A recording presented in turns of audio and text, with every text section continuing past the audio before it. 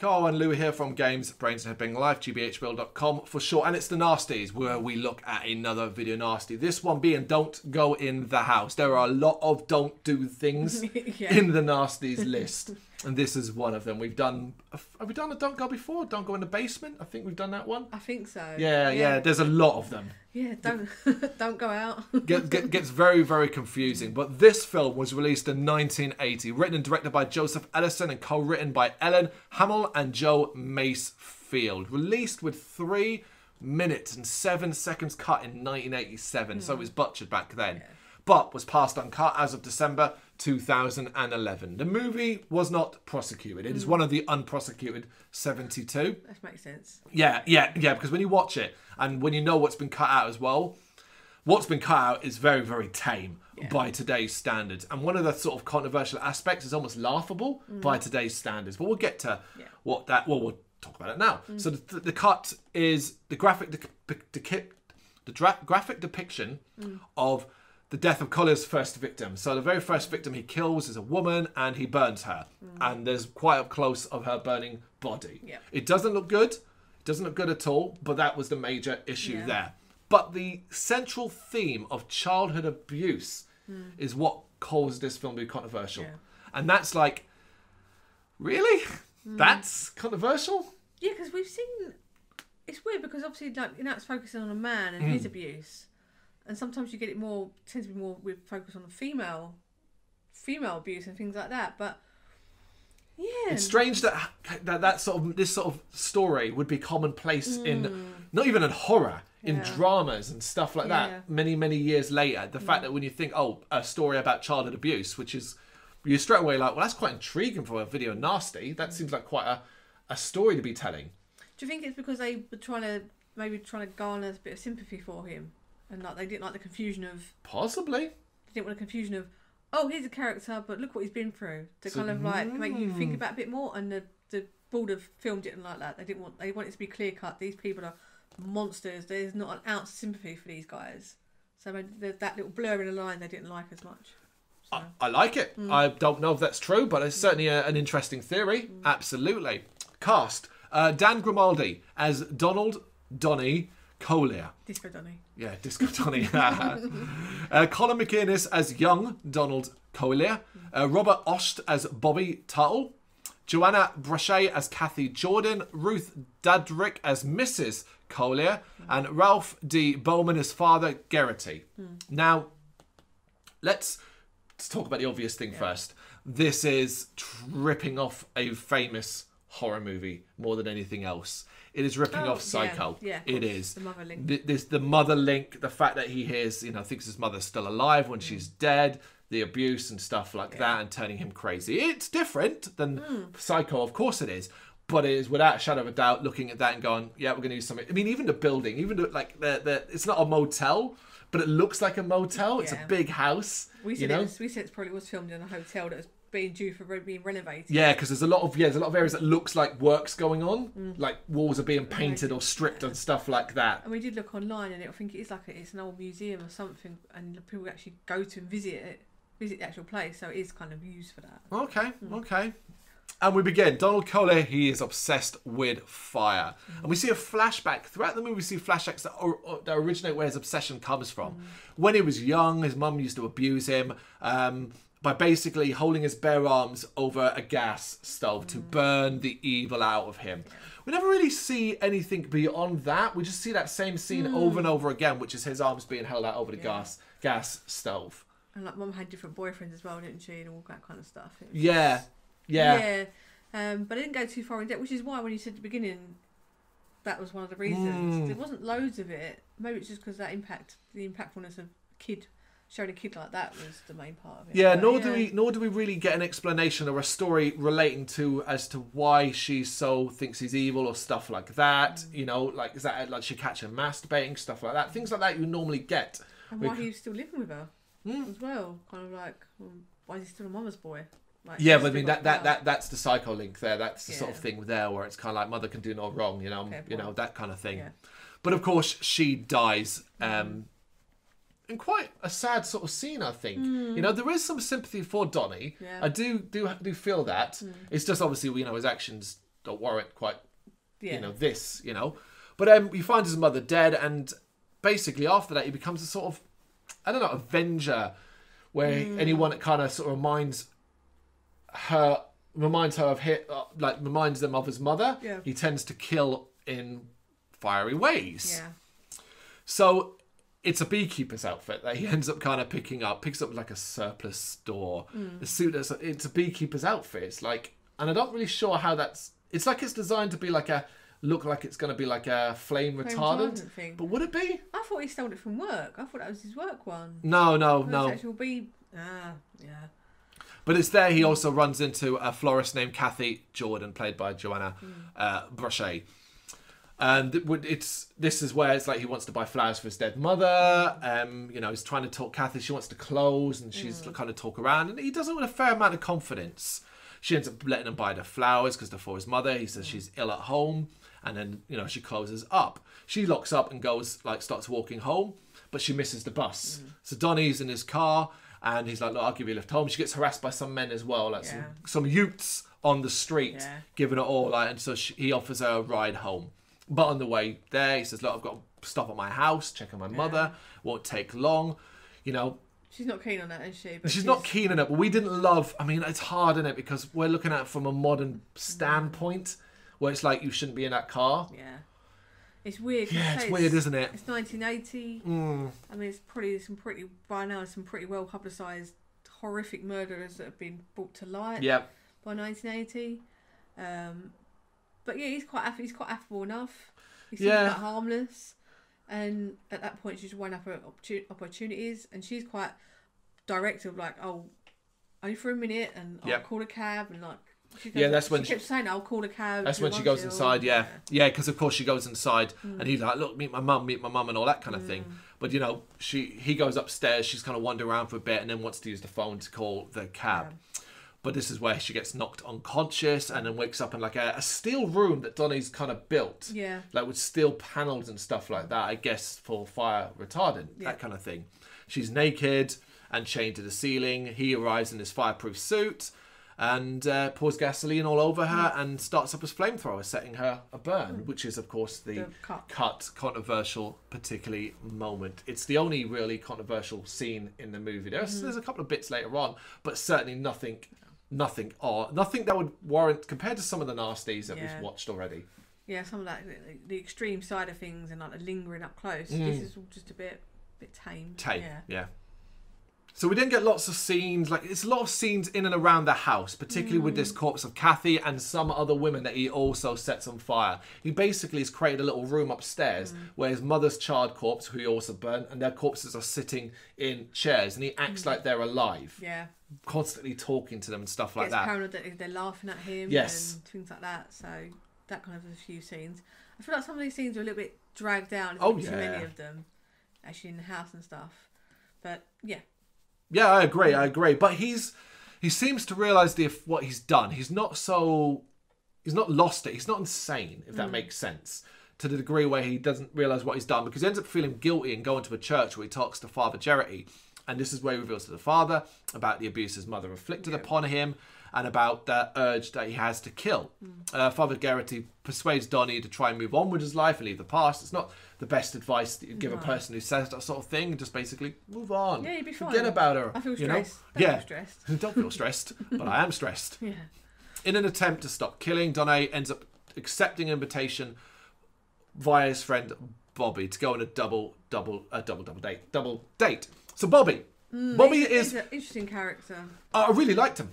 I really liked his um his his his his contrast in the film. He's quite energetic, he's quite bouncy. And here's a really weird thing, right? So Bobby's introduced at the very start of the film at he works with Donnie. And at the very start of the film there's a scene where uh, where Donnie's workmate gets set on fire after an accident. Donnie just watches and doesn't help, and the rest of his, his workmates and boss shout at him. Yeah. Bobby kind of sticks up for him. Yeah. We were generally expecting and waiting for Bobby to, to have an ulterior motive. Yeah. We were waiting for it constantly. Never actually comes. It seems like he just likes Donnie and wants to help him come out of his shell. Yeah, we do we do see a bit. There is a scene where Bobby wants to take him out disco dancing, Mm. and then it, he mentions, "Oh, there's two girls." And it's like, "Oh, Bobby." Yeah, because Bobby's got a wife and two kids at home. Yeah. So that's only disappointment. You're like, oh, okay, Bobby seems a stand-up guy, and he's like, oh, you want a wingman who going out cheating? Yeah, it's the one where you're like, damn it, Bobby, we were doing so so well. But you know, Donny, he go, he's yeah, he's he's. Gonna, I'm going to go on this date. We do get, as I say, talk about filler scenes where he goes to buy the clothing. Oh yeah, some cool shirts, man. It's a lot of. It actually is a lot of fun. We will say the actor that plays Donny is actually really really He's good. good. He's one of the highlights of this film. Yeah. He is quite good, and I really his his awkwardness and his the fact that his mother always bought his clothes for him, so he's having to go out shopping for the first time, Yeah. and he's got this guy that's like gonna dress him and his clothes. It's really fucking. It's a good scene. Mm. There was quite a funny scene at a Vander Hosen Oh, yeah, of course. but yeah, he looks pretty sharp in his suit though. Yeah. He goes disco dancing. And it's quite a fun scene with all disco dancing going on. Yeah, yeah, it's like that proper, It's a like proper that kind of sort of stuff, you know. Yeah. Yeah, because in the club and all that, he ends up meeting the girl he's supposed to hang out with. She's very forward, as you can imagine, quite confident, and all that. And Donny is really, really shy. Um, you know, I do, I've, I've sympathy for him in these scenes because it's like, ah, it's gonna be really crazy difficult for him. And it's this isn't just like going out and like a, a to a pub and just sitting and have a drink and then talking to someone. This is thrown in the deep end with confident women, women uh, very confident women, forward, wanting to dance. You know, let's get on this dance floor. There's another guy, her brother, who's again quite suspicious of Donny, like, "Oh, you got chatting to my sister," kind of thing. Yeah. It's a lot for Donny to kind of take in. You know, Yeah, so it all comes to a point where he it's a really well done, cleverly done, isn't it? So it's like it's like a sort of like a mezzanine level where all the tra- chairs and tables are, Hmm. where Donny's sitting, and the girls on the dance floor. She's like, "Come dance," and she tries to pull his arms.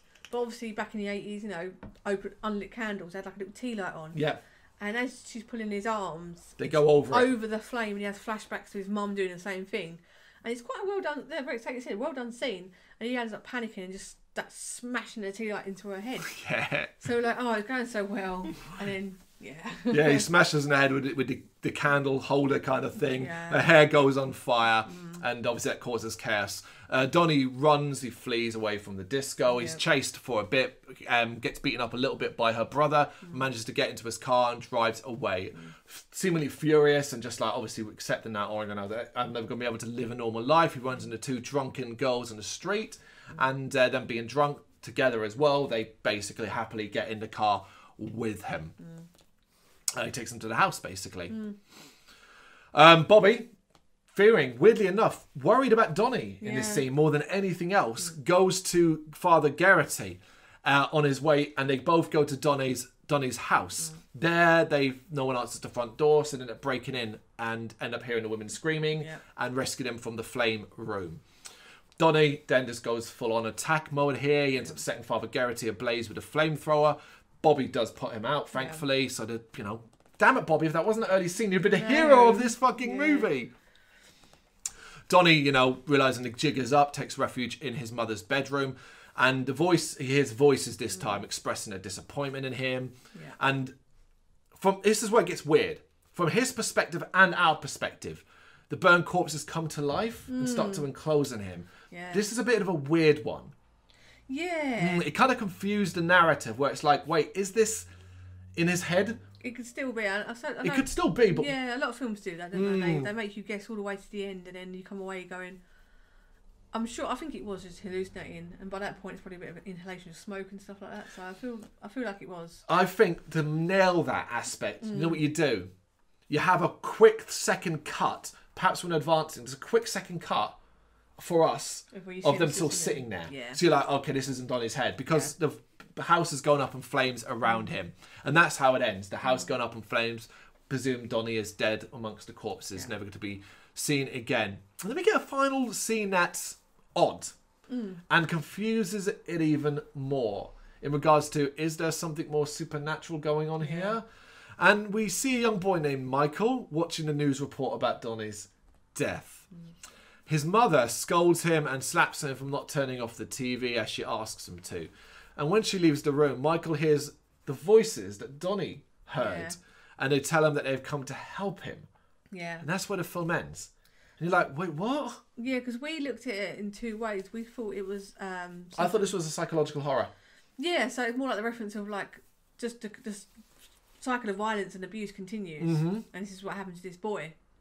That's what that's what we kind of looked at as is like. That I want. Okay. That's what I want it to be. Mm. I don't want the fact that like we're here to like like as if they've as if it's some sort of supernatural entity that has now moved on to, he- you know, it confuses things really unnecessarily. Yeah. So, do you not think? I, I think I think it does. I feel like maybe not having, if it was the voice, maybe that voice is more uh, personal to the little boy. I don't know how Mm. you p- portray that in just a short scene, but yeah, it did make us think more than usual in the nasty. So I appreciated it for that.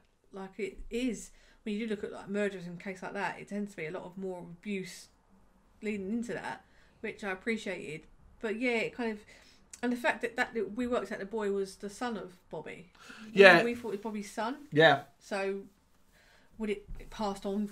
It kind of came back with came back with Bobby, but yeah, it wasn't clear But see, that gets stuck on the supernatural aspect more than anything else. Mm. And if it is that, then the film did a terrible job of portraying Mm. that aspect. It really did. If it is, if that's what the focus is, supernatural elements Yeah. that took that you know encouraged um, Donnie and now moved on to them. The film did a terrible job expressing that. It really, really did. Yeah. But likewise, it kind of trips up the psychological horror by including this question mark about Mm. that aspect.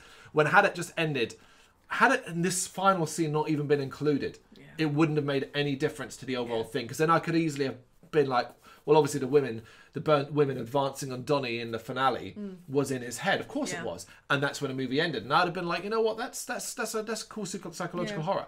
And I wouldn't even thought twice about supernatural elements. This part made me go, huh?